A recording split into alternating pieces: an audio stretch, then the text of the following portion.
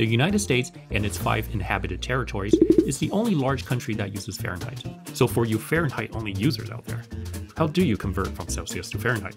Well, the formula is this. Take the Celsius value, multiply it by 9 over 5, or 1.8, then add 32. But if you want to do this faster in your head, you can simplify the equation. Just multiply Celsius by 2, then add 30. For example, 15 degrees Celsius would be 15 times 2 plus 30, or around 60 degrees Fahrenheit. For Celsius between 2 degrees and 32 degrees, this will get you a Fahrenheit value within 5% of the actual.